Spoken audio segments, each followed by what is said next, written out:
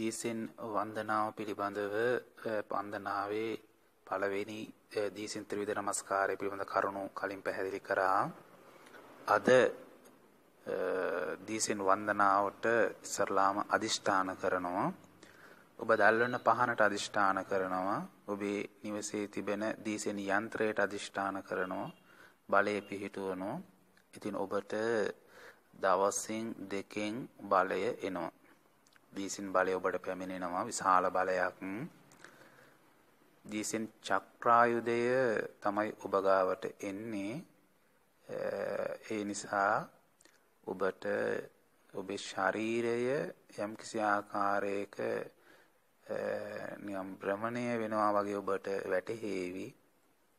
කැරකෙනවා වගේ වැටහෙවි. ඒක අපහසුයක් නෙවෙයි. ඒක ලොකු ශාන්තියක් ලොකු ප්‍රනීත භාවයක් ඔබට දැනෙනවා. ඔබට අකමැති නම් ඉවත් වෙන්න පුළුවන්. ඒ විදිහට වෙනසක් ඔබ තුල අතින් පසුව දැනෙන්න පටන් ගන්නවා. DSN චක්‍රායුධය ධර්මයට අරගෙන තමයි ඔබ ගාවට පැමිණෙන්නේ. ඔබව නිර්වාණ භූමිය කරා අරගෙන යන්න. ඒ විදිහට චක්‍රායුධය ඔබ ගාවට එන්න නම් ඔබ සක්විති රජ කෙනෙක් වෙන්න ඕන. ඒ නිසා තමයි සරලාව දීසින් වන්දනාවෙන් ඔබේ චක්‍රවර්ති රජාත්ම අවදි කරන්නේ. ඒ රජාත්ම අවදි වෙනවා ඔබ අතට චක්‍රායුධය එනකොට. චක්‍රායුධය සාමාන්‍ය කෙනෙක් ගාවට යන්නේ නැහැ. චක්‍රායුධ පහළ වෙනකොටම තමයි සක්විතිර රජවරු බිහි වෙන්නේ.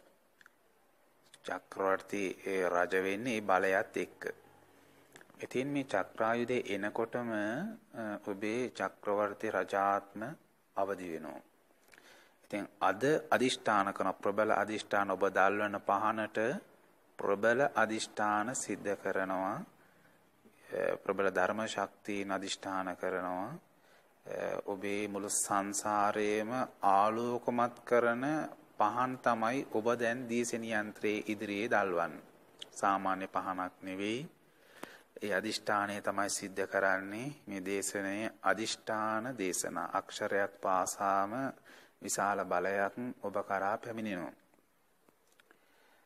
ඉතින් ඔබ දීසෙන් වන්දනාව කියවනකොට සජ්ජායනා කරනකොට අක්ෂරයක් පාසා විශාල බලයක් අවදි වෙනවා. ඉතින් ඔබේ චක්‍රවර්ති රජාත්මය අවදි වෙන්න පටන් ගන්නවා. ඒ සඳහා අද ප්‍රබල අධිෂ්ඨාන සිද්ධ කරලා තියෙන්නේ. ඔබ තුලට දැන් බලය පැමිණෙනවා.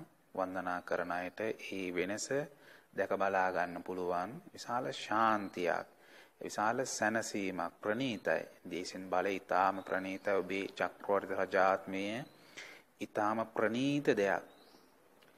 මේ බලය පැමිණුණු අය නිරන්තරයෙන්ම කියන කතාවක් තමයි විස්මිතයි කියලා. පුදුමයි. විස්මිතයි පුදුමයි කියන වචනය નિરાයාසයෙන්ම ඔවුන් තුලින් එනවා. මොකද පෙර නොවූ විරු අත් නොදකපු සැනසීමක් කවදාත් අත් නොවින්ද සැනසීමක් විශාල බලයක්. ඒ නිසා ඔවුන් තුලින් નિરાයාසයෙන්ම ඒ වචන පිට වෙනවා. ඔබ තුලත් ඒ වෙනස ඔබට අත්විඳින්නට පුළුවන්. මේ රජාත්මය අවදි වීමත් සමග ඔබේ පින් බලය ඉස්මතු වෙනවා. පෙර පින ඉස්මතු වෙන්න පටන් ගන්නවා. ඉතින් ඔබේ ජීවිතේ වෙනස් වෙන්න පටන් ගන්නවා. විශාල බලයක් විදිහට ඒ පෙර පින තමයි ඉස්මතු වෙන්නේ. ඉතින් ඔබ කරපු කුසල් ඊට පස්සේ විපාක දෙන්න සුදුසු පරිසරයක් නිර්මාණය වෙනවා. විශාල බලයක් ඔබ අවට ඔබට කරදර බාධක තියෙනවා නම් බොහොම බලවත් විදිහට මේ බලය ඔබ අතර පැමිණෙන චක්‍රායුධය ඔබ තුලට පැමිණෙනවා ඒ විශාල බලය. ඉතින් ඒ නිසා තමයි ඔබට ඒ දන්වන්න දනවගෙන ඔබට දැනුම් දීගෙන ඔබට තහවුරු කරමින් තමයි බලය Taman තුලට පැමිණෙන්නේ. ඒ නිසා තමයි භ්‍රමණ ගතියක් ඔබට වැටෙන්නේ. ඒ අමතුම අමනුෂ්‍ය බලවේගයක්වත් දේව බලවේගයක්වත් නෙමෙයි. අපේ ග්‍රහ මණ්ඩලය කැරකෙනවා. ඒක තමයි ලෝකය. ඉතින් අන්න ඒ ක්‍රමය තමයි Taman තුල පෙන්눔 කරන්නේ. ඒ බලය තමයි මම කලින් පැහැදිලි කළා. චක්‍රායුධ හැටියට එන්නේ මේ ග්‍රහ චක්‍රයේ ඒ කරකවන බලය ලෝකය භ්‍රමණය කරන බලය ඒ තරම් බලයක් Taman තුලට එනවා. ඉතින් ඒ චක්‍රායුධයේ Taman තුලට එනකොට අර කැරකෙන ස්වභාවයක් Tamanට දැනෙන්න පුළුවන්, කැරකෙන්න පුළුවන්. ඒක ඒක Tamanගේ ග්‍රහණයෙන් ගිලිහෙන්නේ නැහැ Tamanගේ ජීවිතය. Tamanගේ ශරීරය Tamanගේ ග්‍රහණය තමයි පවතින්නේ. මොකද මේ මෝහන බලයක් නෙමෙයි. නින්දක් තුල සිදුවෙන දෙයක් නෙමෙයි. ඉතින් මෝහන බල සිද්ධ වෙන්නේ ස්වයන් නිද්‍රා මෝහණය කියලා කියන්නේ. ඒක නින්දකට තමයි යවන්නේ. යවලා තමයි පෙර ආත්මයන් තුලට යවන්නේ. නමුත් ඒක මානසික යන දෙයක්. මේකේ මානසික දෙයක් නෙමෙයි. මහ පොළවේ ක්‍රියාත්මක වෙන සිත කය වචනේ තුන්දොරම තුල ක්‍රියාත්මක වෙන බලයක්. මේක කය තුල කයින්ම ඒ තැනට තමන් අරගෙන යනවා. චක්‍රවර්ති රජ ආත්මයට ශරීරයේ පිටීම තමන්ව අරගෙන යන බලයක් මේ මෝහන බලයක් නෙමෙයි. තමන් තුල තියෙන පෙර රජාත්ම තමන්ගේම දෙයක් තමයි ඉස්මතු කරන්නේ. මනෝලෝකයකට තමන්ව යොමු කරවන්නේ නැහැ මෙතනදී යම්කිසි ප්‍රතිපත්තියක් ඒ කියන්නේ බුද්ධ ප්‍රතිපත්තිය තුල තමයි තමන්ව මේ ප්‍රතිපත්තියේ ඉදිරියට මෙහෙවගෙන අරගෙන යන්නේ යම්කිසි අරමුණක් සඳහා නිර්වාණය සඳහා තමන්ගේ සැනසීම සඳහා තමයි මේ අරගෙන යන්නේ. ඒක ප්‍රතිපත්තියකට අනු ප්‍රතිපත්තියකින් තමයි අවදි කරන්නේ. හිතුමනා අපිට අවදි කරගන්න පුළුවන් කමක් නැහැ. ඉතින් ඒ ඒ යම්කිසි ධර්ම මාර්ගයක අරගෙන ගිහිල්ලා තමයි තමන්ගේ ඒ අතීත කර්ම ශක්තිය අවදි කරලා දෙන්නේ. ඉතින් තමන් අවබෝධ කර කෙනෙක් කියන්න පොළොක මෝහන බලයක්, මිත්‍යා දෘෂ්ටික බලයක්, මානසික ව්‍යාකූලතාවයක් කියලා ඔබ තවත් කෙනෙක් පැහැදිලි කරන්න ගියොත් ඕන් තර්ක කරાવી ඒවට පිළිතුරු තියෙනවා. ඉතින් මෝහන බලය කියන්නේ ස්වයන් නිද්‍රා මෝහණය ඒක මෝහණය කියන්නේ මුලා කිරීම නින්දකට යවලා තමයි ඒ කියන්නේ භවාංග සිත අපි කියන්නේ නිදිහිත ඒක අතීත කර්ම ශක්තියේ තියෙනවා. එතනින් කෙනෙකුට යම්කිසි තොරතුරක් ගන්න පුළුවන්. ඒ මානසික අපි මනසින් විතරයි එතෙන්ට යන්නේ. නමුත් මේ දේශෙන් අදිෂ්ඨාන බලයෙන් තමන්ව කයනොත් එතෙන්ට අරගෙන යනවා. ඒ ස්වභාවයට තමන් ඒ ජීවිතේනම තමන්ව අරගෙන යන්න පුළුවන් ජීවිතය අවදි කරන්න පුළුවන් ශක්තියක් බලයක් මේ අදිෂ්ඨානය තුළ පවතිනවා. ඉතින් ඒ පඨවි ධාතුව තුල ඒව තැම්පත් වෙලා තියෙනවා. මනසේ විතරක් නෙමෙයි. පඨවි ධාතුව තුල මේක අකණ්ඩ පඨවි ධාතුවක්.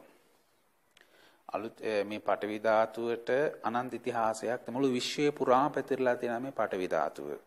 ඉතින් මේ පඨවි ධාතුව තුල මේ සත්‍යය අබිහි වෙනවා. සත්‍යය සකස් වෙනවා. ඉතින් පඨවි ධාතුවත් එක්ක තමයි මේ සත්වය ගනුදෙනු කරන්නේ. ඉතින් ඒ පඨවි ධාතුව තුල තිබෙන එයින් තමයි විපාක සකස් වෙන්නේ. එතෙන්ටම අරගෙන පිරිසිදු ආත්මය තමයි තමන්ගේ අවදි කරලා දෙන්නේ. කිසිදු වෙනත් ආත්මයක් සම්බන්ධ වෙන්නේ නැහැ. මේ දීසෙන අදිෂ්ඨාන බලය මං කිව්වා මුලින්ම හටගත මූලපරියාය සූත්‍රයේ බුද්ධ අදිෂ්ඨාණයෙන් බුද්ධ බලයෙන් බුද්ධ ආනුභාවයෙන් තමයි ධර්ම චක්‍රයෙන් තමයි පහළ වුණේ දීසෙන් මේ බලය ඒ මුල් පියවර ඉතින් ආරම්භයේ එහෙමයි. ඉතින් ඒ නිසා මේ කිසිදු වැරදීමක් නැහැ. ඒ ධර්මයේ තුලින්ම සකස් වුණු බලයක් තමන්ගේ බලයත් අවදි වෙන්නේ ධර්මයේ තුලමයි. ඉතින් චක්‍රවර්ති රජාත්මය ක්‍රියාත්මක වෙන්නේ ධර්ම සීමාව තුල අවදි කරන්න චක්‍රායුධයේ තමන් තුලට එවනු. දැන් අදිෂ්ඨාන කළා තියෙන්නේ දැන් තමන් අද ඉඳන් පහන දැල්වනකොට ඒ වෙනස තමන්ට දැක බලා ගන්න පුළුවන්.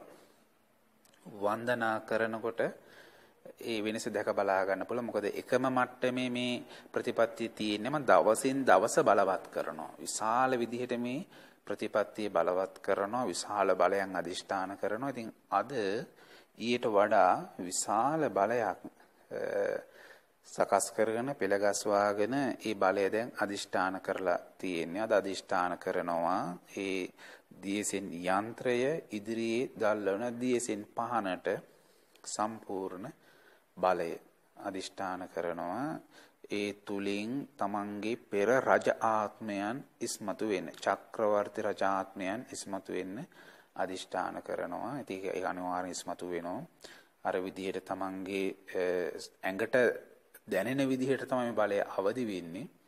ඒක ධ්‍යාන බලයක් විදිහට තමයි අවදි වෙන්නේ. රජ දැහන කියලා කියනවා. රජ දැහනක්. දැහන කියන්නේ ධ්‍යානය කියන එක. ඉතින් ඒක ධර්ම ශක්තිය ධර්ම බලයක්. තමන් ඒ රජ ආත්මයත් එක්ක ගනුදෙනු කරන්නේ ධ්‍යාන සිතකින්. ඒක ශාන්ත ප්‍රණීත සිතක්. ඉතින් ඒ නිසා තමන්ට එතනදී වරදින්නේ නැහැ තමන්ව නොමග යවන්න වැරදි මාර්ගයේ යවන්න නොපෙනෙන බලවේග වලට උනත් පුළුවන් කමක් නැහැ. ඒ චක්‍රායුධය දැන් සාමාන්‍ය මායම් දිෂ්ටි වෙන අයත් කැරකෙනවා. කැරකිලා තමයි මායමේ ඉන්නේ දැන් පත්තිනි මෑණියන්ගේ වරම දෙනකොට ඔළුව කරකවනවා. එක එක දෙවිවරු වරම් දෙනවා කරකවනවා. ඉතින් ඒ අය කලින් එහෙම ලෝකපාලක බලයන් අරගෙන තිබුණා. සමහර දෙවිවරුන්ගේ ඇඟිල්ල උඩ චක්‍රයක් තියෙනවා. ඒක තමයි චක්‍රායුධය. ඒක කියන්නේ විශ්වයේ ලෝකය පාලනය කරන බලය දෙවියන්වත් එහෙම යම්කිසි ආකාරයක යාලට පාලන බලයක් තිබුණා. නමුත් දැන් ඒ අයගේ සම්පූර්ණ බලයන් බිඳලා තියෙන්නේ. ඒ පාලන බලය අරගෙන තියෙන්නේ අතට. ඒ නිසා තමයි ප්‍රබල විදිහට ඒ බලය එන්නේ. ඉතින් කලින් එහෙම මේ බලය එන්න කලින් ලෝකපාලක දෙවිවරු ඒ වගේ අදිෂ්ඨානය සිද්ධ කරලා තිබුණා මිනිස්සුන්ට. නමුත් ඒ බලයන් කෙනෙක්කුල තිබුණොත් ඒවත් සම්පූර්ණ පිරිසිදු කරගෙන තමයි Tamanට මේ ධර්ම බලය තමයි Taman ගාවට එන්නේ. ඉතින් Tamanගේ ග්‍රහණයෙන් මිදෙන්නේ නැහැ. සිහිය නැති වෙන්නේ නැහැ. තමන් ප්‍රබල සිහියකට ප්‍රබල ධ්‍යානයකට තමයි තමන්ව යොමු කරවන්නේ. ඒ තුලින් තමයි මේ බලය අවදි කරන්න පුළුවන් වෙන්නේ. ඉතින් ඒ බලය ඒ විදිහට චක්‍රායුධයේ විදිහට තමන් ගාවට එනවා. ඊට පස්සේ තමන්ට ඒක නාග බලයක් විදිහට ඒක වර්ධනීය වෙනවා. ඒ වගේම දීසෙන් කඩුව තමන්ට පැමිණෙනවා. දීසෙන් අන තමන්ට පැමිණෙනවා. ඒ කියන්නේ චක්‍රවර්ති රජ කෙනෙක් වුණාම තමන්ට ඒ ශක්තියින් එනවා. හැබැයි ඒ චක්‍රවර්ති තමන්ගේ පුරාණ චක්‍රවර්ති රජ ආත්මය අවදි කරගෙන දැන් එන්නේ මේ නූතන යුගයට. දැන් ඒ අතීත රජ ආත්මයට තමන්පත් වෙලා තමන් අරගෙන එන්නේ මේ 2021ට වර්තමාන යුගයට තමයි තමන් අරගෙන එන්නේ. ඒ අරගෙන එනකොට තමන්ගේ භූමිය තමන් සකස් කරගන්නට ඕන. ඒ කියන්නේ රජ වුණාට රාජාණ්ඩුවක් තියෙන්න ඕන තමන්ට. ඒ බලය පතුරවන්න චක්‍රවර්ති රජ කෙනෙක් කියන විශාල බලයක්. ඉතින් ඒ රජ බලය ආවගමම්ම කරන්නේ එයා රජ බලය පතුරවනවා. චක්‍රායුධය අවලා ඒ ලෝකේ පුරාම ඒ බලය ක්‍රියාත්මක කරලා පංචශීලයට යොමු කරන එකනේ චක්‍රවර්ති රජතුමාගේ රාජකාරිය. ඉතින් තමන්ගේ රජ ආත්මය අවදි වුණාම තමන්ට මානසිකත්වයේ තමයි එන්නේ. අනිත් හැමෝම පංචශීලයට යොමු කරවන්න. ඉතින් එතකොට යන්නේ ඒ සඳහා තමන්ට චක්‍රායුධයක් පැමිණෙනවා. ඒ බලය තමන්ට පැමිණෙනවා. එතකොට ඒකෙන් කෙනෙක් පංචශීලයට යොමු කරවන්න පුළුවන්. ඒ තවත් කෙනෙකුට බලය යොමු කරවන්න පුළුවන් තවත් කෙනෙකුගේ චක්‍රවර්ති රජාත්ම Tamanට අවදි කරන්න පුළුවන්. ඒ අදිෂ්ඨාන බලය Taman තුල පිහිටනවා. ඉතින් වර්තමානයේට Taman මේ චක්‍රවර්ති රජ ආත්මය අරගෙන එන්නේ දියසෙන් යුගයකට තමයි Taman එන්නේ. එතකොට දැන් මේ රාජාණ්ඩුව Taman ඒ රාජාණ්ඩුව දීසිං රාජාණ්ඩුවට තමයි තමන් චක්‍රවර්ති රජාත්මය අරගෙන එන්නේ. ඉතින් මේ දීසිං රාජාණ්ඩුව තුල තමන්ට අදිෂ්ඨාන බලයන් පිහිටුවන්න පුළුවන්. ඒ බලයන් තමන්ට පතුරවන්න පුළුවන්. ඒ අවසරය අනුමැතියේ තමන්ට තියෙනවා. ඉතින් එතකොට මේ ඒ රජ බලය අරගෙන ක්‍රියාත්මක වෙන්න ඕන දියසෙන් බලයට අනුව නැත්නම් හැමෝටම රජවරු විදිහට එහෙම තනි තනියම ඒ බලයන් හුදකලාවේ ක්‍රියාත්මක කරන්න ගියොත් ඒක ගැටලුවක් වෙනවා. ඒ නිසා මේ රජ ආත්ම අවදි කරන්නේ රාජාණ්ඩු ක්‍රමයට අනුව. දේශෙන් රාජාණ්ඩු ක්‍රමයට අනුව තමයි ඊට පස්සේ ඒ බලය ක්‍රියාත්මක වෙන්නේ. ඒ නිසා තමයි දීසෙන් වන්දනාවෙන් අවදි කරන්නේ. දීසෙන් රජුට වන්දනාවෙන් තමයි තමන්ගේ කටයුතු සිද්ධ වෙන්න ඕන. හැමෝටම තියෙන්න ඕන පිළිවෙලක් අනුපිළිවෙලක් තියෙන්නට අවශ්‍යයි. රජ බලය අවදි වෙනකොට ඔවුන්ව පාලනය කෙරෙන්න ඕන නැත්නම් ගැටලුවක් වෙනවා. ඒ නිසා තමයි දීසෙන් වන්දනා සීමාවෙන් මේ රජාත්ම අවදි කරන්නේ. ඉතින් ඒ වන්දනාවෙන් අවදි කරගන්න පුළුවන් දීසෙන් භාවනාව තියෙනවා. හුස්ම රැල්ල දිහා බලාගෙන ආනාපාන සති භාවනාව කරන විදිහට තමන්ට පුළුවන් දීසෙන් ගනිමි දීසෙන් හෙළම කියලා භාවනා කරන්න. දීසෙන් ගනිමි දීසෙන් හෙළමි. ඒ කියන්නේ දීසෙන් බලයක් තමයි හුස්ම රැල්ල කියලා කියන්නේ. ඉතින් ඒ විදිහට දැන් දීසෙන් අදිෂ්ඨානය පිහිටුවලා තියෙන්නේ පෙර චක්‍රවර්ති රජාත්ම අවදි වෙන විදිහට. ඉතින් ඒ රජ ආත්මෙට පණ දෙන්නේ දියසෙන් බලය. තමන්ගේ චක්‍රවර්ති රජ ආත්මයට දැන් මේ පණ දෙනෝ ප්‍රාණය දෙනෝ නැගිට්ටෝනෝ ඒකට දෙන්නේ දීසෙන් බලය තමයි පණ දෙන්නේ. දීසෙන් බලයෙන් තමයි ප්‍රාණය ලබා දෙන්නේ. දීසෙන් ප්‍රාණය තමයි ලබා දෙන්නේ. හුස්ම දෙනවා. චක්‍රවර්ති රජ ආත්මයට හුස්ම දෙනවා. ඒ හුස්ම දෙන්නේ දීසෙන් හුස්ම තමයි ලබා දෙන්නේ දීසෙන් ප්‍රාණය දීසෙන් හුස්ම දීසෙන් සුසුම් රැල්ල තමයි මේ චක්‍රවර්ති රජතුමාට දීලා ඒ චක්‍රවර්ති රජතුමා නැවත අවදි කරන්නේ. මොන රාවණා නැගිටිනවා කියලා කිය රාවයක් යනවා. ඇත්තටම රාවණා රජවරු තමයි අවදි වෙන්නේ. ඒ කතාව ඇත්ත. රාවණා බලය අවදි වෙනවා.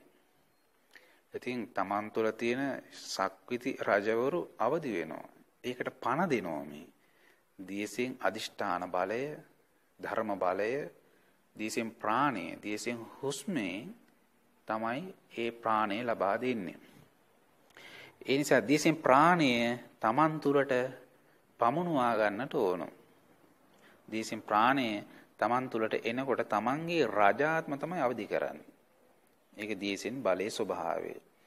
ඉතින් ඒ සඳහා හුස්ම රැල්ල දිහා බලාගෙන Tamanගේ හුස්ම සක්විති හුස්මක් බවට පත් වෙන්න ඕන. චක්‍රවර්ති හුස්මක් බවට පත් වෙන්න ඕන. ඒ සඳහා පුළුවන් දීසෙන් ගනිමි දීසෙන් හෙළම කියලා දීසෙන් ප්‍රාණීය බවට එකපත් කරගන්න.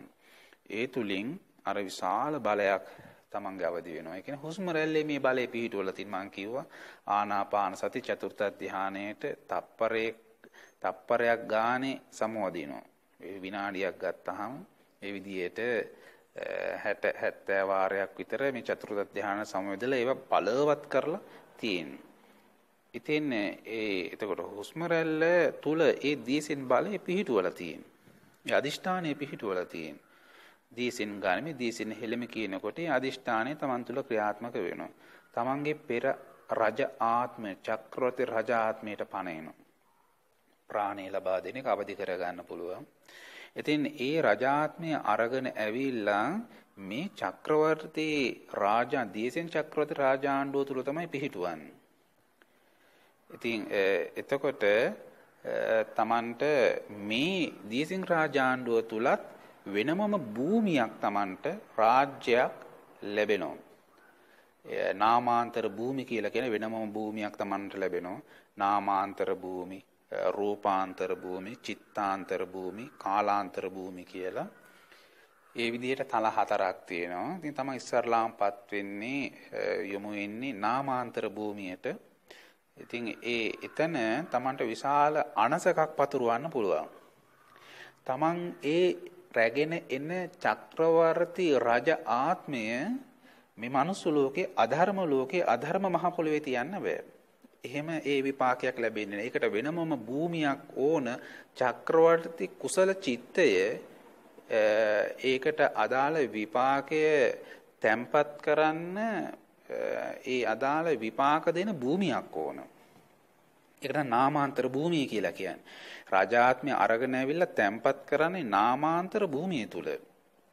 එතන තැම්පත් වුණාම ඒක විපාකයේ ස්ථිරයි. නැවත ආපස්සට වැටෙන්නේ නැහැ. ඒක විපාකයක්, කර්මයක් නෙමෙයි. චක්‍රවර්ති රජාත්මය ඒක විපාක රජාත්මයක්. විපාකේ තමයි ගන්නෙ. එතකොට මනුස්ස ලෝකයේ තුල ඒ චක්‍රවර්ති රජ විපාකේ දැනට ලැබෙන්නේ නැහැ මේක අධර්මයේ නිසා. නිසා අපි ඒ ඒ සඳහා මේ දීසෙන් බලයෙන් භූමියක් නිර්මාණය වෙලා තියෙන අදිෂ්ඨානයෙන් නිර්මාණය වෙලා තියෙන ප්‍රබල භූමියක් විපාක දෙන භූමියක් නාමාන්තර භූමිය කියලා. ඉතින් තමන්ගේ චක්‍රවර්ති රජ ආත්මේ නාමාන්තර භූමියේ තමයි පිහිටන්නේ.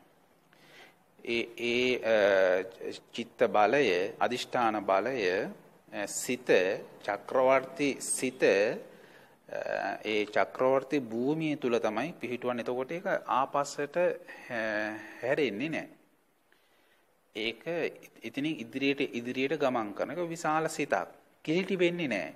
දුක් දුමනස් උපායාස සාමාන්‍ය ජීවිතය වගේ පැමිණෙන්නේ නැහැ. ඒවට එන්න ඉඩකඩක් නැති වෙනවා නාමාන්තර භූමිය නිසා.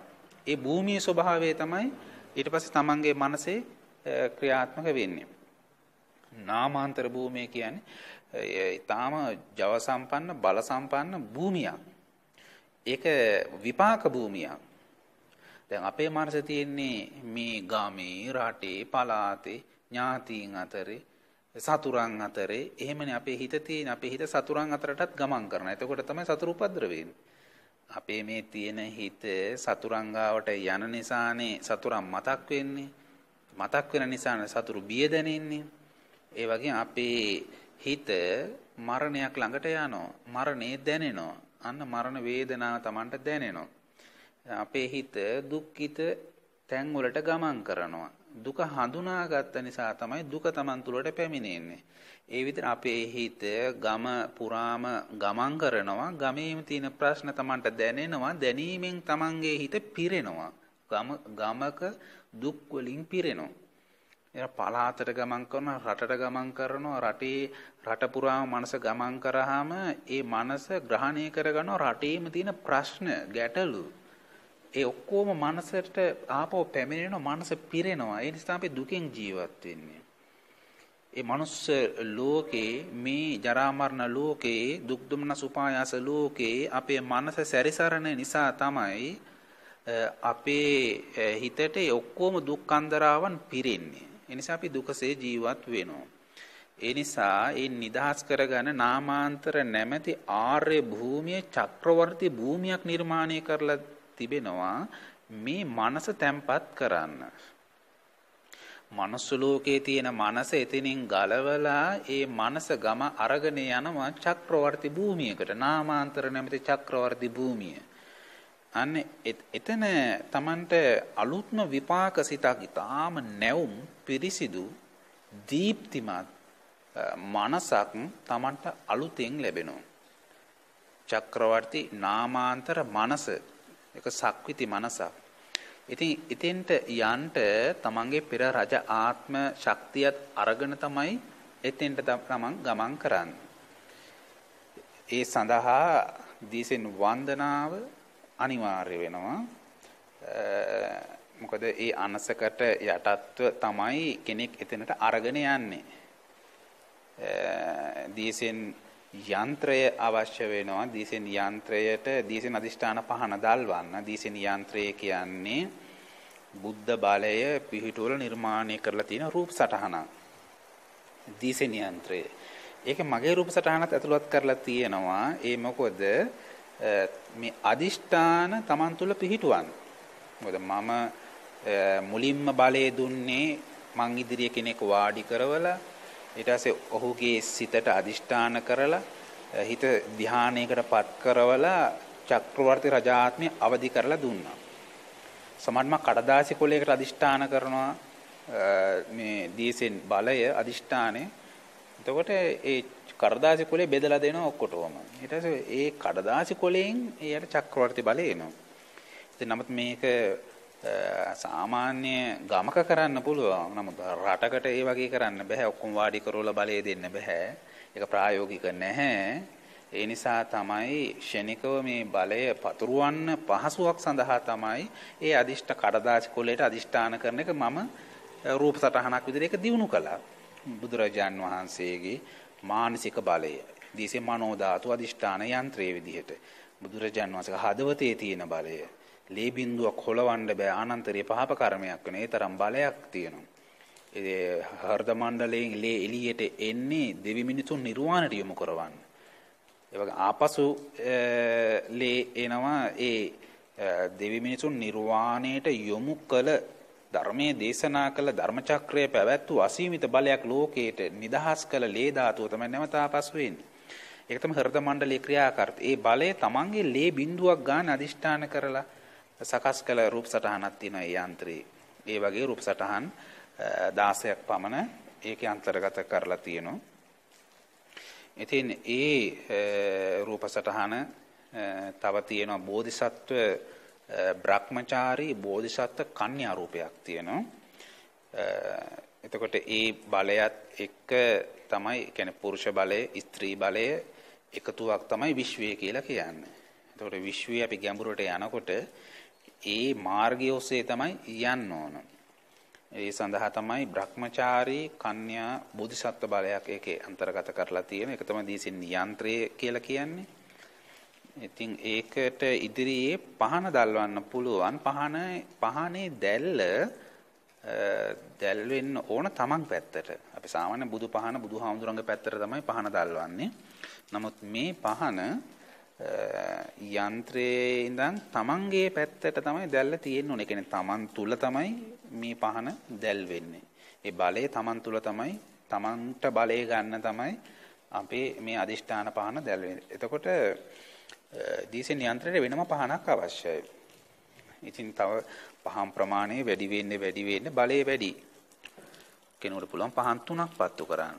නැත්නම් පහන් හතක් පත්තු කරන්න පුළුවන්. ගැටලුවක් නැහැ. පහන් 21ක් දල්වන්න පුළුවන්. දවස් 7ක් විතර යනකම් නැත්නම් දවස් 21ක් යනකම් මාස 3ක් යනකම් පහන් ප්‍රමාණය වැඩි කරගන්න පුළුවන්. ඊට පස්සේ පහන් 3කට හරි පහන් 1කට හරි එහෙම එන්නත් පුළුවන්. කොහොමත් පහන් ප්‍රමාණය වැඩි වෙනකොට බලය වැඩි. ඉතින් ඒ මේ මූලික හැඳින්වීම DSN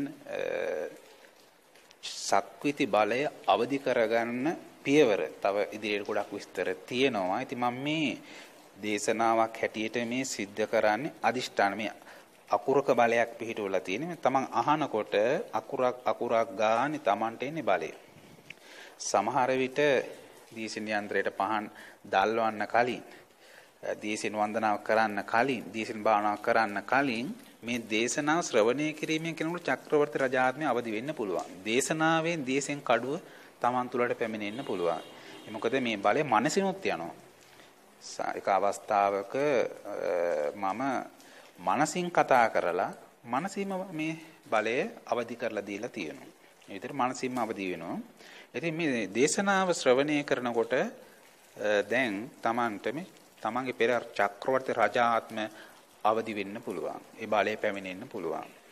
ඉතින් ඊළඟ පියවරේදී තව පැහැදිලි කරා